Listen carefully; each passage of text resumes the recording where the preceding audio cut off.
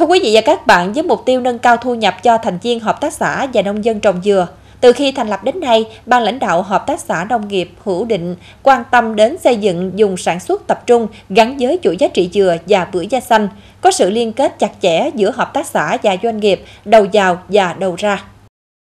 Hợp tác xã nông nghiệp Hữu Định, huyện Châu Thành được thành lập vào tháng 12 năm 2018. Qua 5 năm hoạt động, đến nay hợp tác xã đã phát triển 105 thành viên, chiếm hơn 10% số hộ trong toàn xã tham gia vào hợp tác xã. Và đây cũng là một trong số ít hợp tác xã trong tỉnh làm được điều này. Từ khi thành lập đến nay, phương châm kế hoạch sản xuất kinh doanh và hoạt động của hợp tác xã là hỗ trợ thành viên về quy trình kỹ thuật canh tác bưởi da xanh và dừa xiêm uống nước, nhất là sản xuất theo tiêu chuẩn hữu cơ, đồng thời tạo sự liên kết giữa tất cả thành viên hợp tác xã với các doanh nghiệp cung ứng vật tư, phân bón, thuốc bảo vệ thực vật và ký hợp đồng tiêu thụ sản phẩm cho thành viên.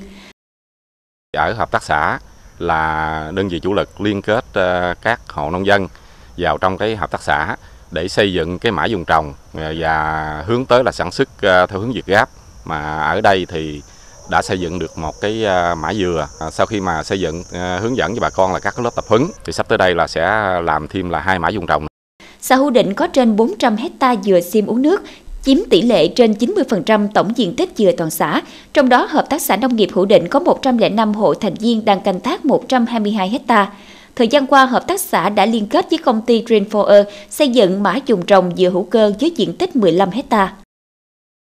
Để đảm bảo cái à, yêu cầu của phía đối tác thì ở bên à, hợp tác xã cũng chuẩn bị trước tiên là xây dựng cái mã dùng trồng, đồng thời à, là sản xuất theo cái hướng hữu cơ, cái hướng à, Việt Gáp, rồi quản lý dịch hại để hàng hóa của mình đó sau khi mình xuất qua bên bển thì nó đạt chất lượng.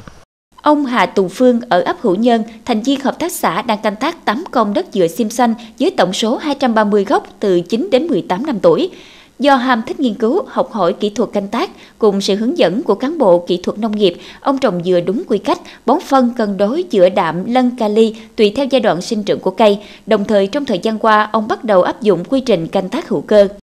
Liên minh liên kết giữa bốn nhà,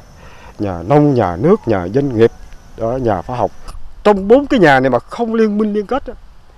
thì tất nhiên là người nông dân họ sản xuất nông sản, đó, hàng hóa để cung ứng. Mà nếu như người nông dân làm được sản phẩm rồi, nhưng không có nhà dịch vụ, nhà doanh nghiệp,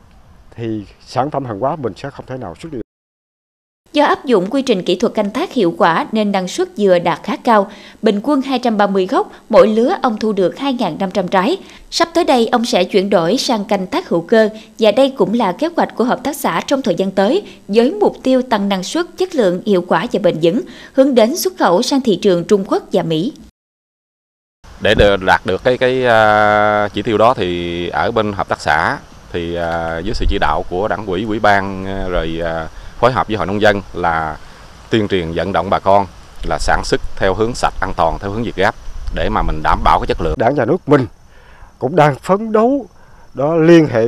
quốc tế, đó quan hệ quốc tế để mà tìm cái đầu ra cho cái sứ dừa, cái sứ dừa Bến Tre nói nói riêng và cả nước nói chung thì ờ, cần có sự hỗ trợ truyền thông, hỗ trợ của các cơ quan chức năng